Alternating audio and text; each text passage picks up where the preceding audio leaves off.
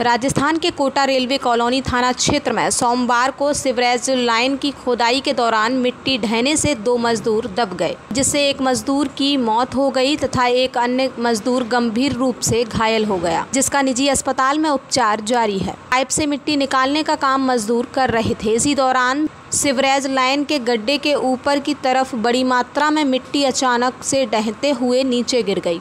जिसमें दोनों मजदूर दब गए। घटना के करीब 15 मिनट की मशक्क़त के बाद मजदूरों को बाहर निकाला गया। के बाद मजदूरों को अस्पताल ले जाया गया। घटनास्थल पर करीब 10 से 15 मजदूर कार्यरत थे।